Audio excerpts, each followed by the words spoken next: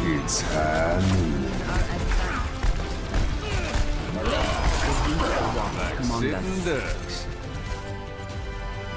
The doctor has met his maker.